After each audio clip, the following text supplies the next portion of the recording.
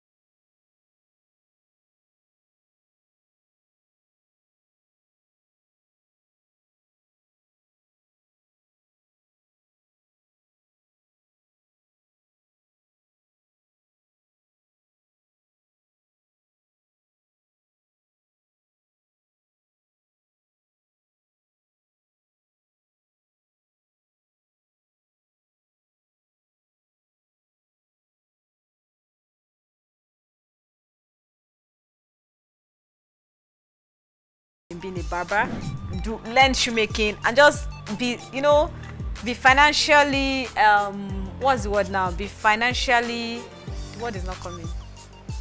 Free.